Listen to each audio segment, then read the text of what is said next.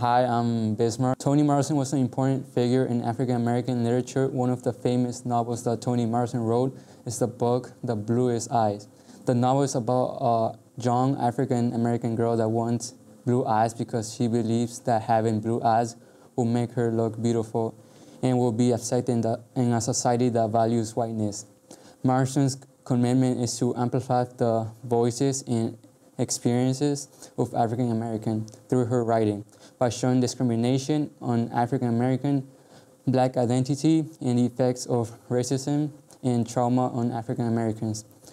Uh, Morrison's contribution to literature earned her numerous awards, including the Nobel Prize in Literature in 1993, making her the first African American woman to receive this honor and making her an important figure in African American literature. Good morning and welcome to the Daily Panther. Today is Thursday, February 29th, and it's an A Day. Hi, I'm Patrick. And I'm Mac. We'll be your host for today.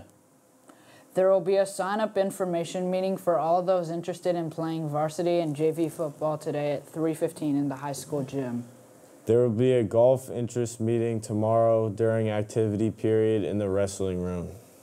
Any student athletes that have recently committed to playing a sport at the college level and have not yet reported to the athletic office, please do so as soon as possible for signing day information. Have you ordered your yearbook yet? There is still a chance for you to order your very own yearbook. Just go to the Green Gazette and click on the yearbook link now. Time is running out. Remember to buy tickets to the PHS Spring Musical, Footloose. See the link on the Green Gazette. Uh, attention seniors, this is a senior internship opportunity. Seniors who are interested in interning at a nonprofit organization in Westchester this spring, please visit the senior internship website to see Mr. Fondy. The name of the organization is 914 CARES. The Leukemia and Lymphoma Society will be sponsoring a basketball game this Saturday, March 2nd at 6 p.m. in the high school gym between the varsity girls team and the girls CYO team. Entry will be $5 for adults and $3 for kids. Come and support the Leukemia and Lymphoma Society and our mission to fight cancer. Hope to see you there. There will be a writing contest, Women's History Month in March, sponsored by the 9th Judicial District Committee to promote gender fairness. See your English teacher for English teacher for more information. This project is due March 8th, 2024. Attention seniors, for a chance to win next month's parking spot raffle, please Venmo $5. Be sure to include your name, email, and senior parking spot raffle. A new winner will be chosen every month.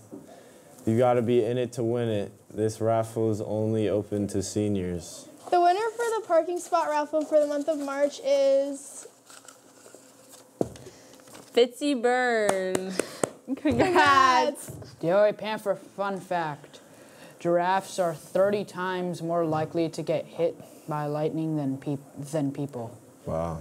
That's crazy, yo. Let's end with an inspiring quote for today. Many of life's failures are people who did not realize how close they were to success when they gave up. Thomas Edison. That's it for today's episode of the Joey Panther. Have a great day and cheers, yeah! We love America. Yep.